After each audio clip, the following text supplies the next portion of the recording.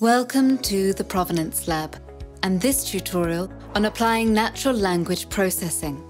Natural language processing, or NLP for short, is an area of research that lies at the intersection of computer science, linguistics, and more recently, artificial intelligence. It is an area of research that nevertheless pervades our everyday life, from applications like Siri to Google Translate. Technically, NLP develops computational methods to analyze and synthesize natural language on a large scale. More simply put, NLP tries to digitally understand how humans speak and write.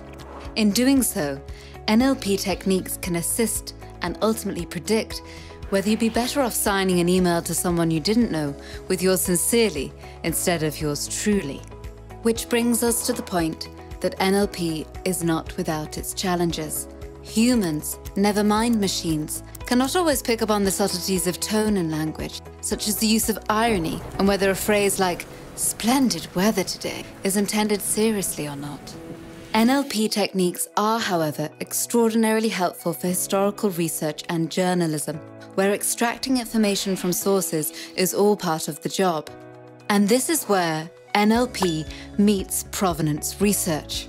At least here at the Provenance Lab. We use natural language processing to extract knowledge from provenance texts. But what does that mean exactly? Let us guide you through an example. Let's use the provenance text that we examined in tutorial 1 and hone our focus on a single provenance event, which, as discussed in the tutorial for those of you that have yet to watch it, is a historical event occurring in a chain of ownership of an artwork. In the provenance of Paul Cézanne's painting Houses in Provence, for instance, let's take the event Gift 1973 to NGA.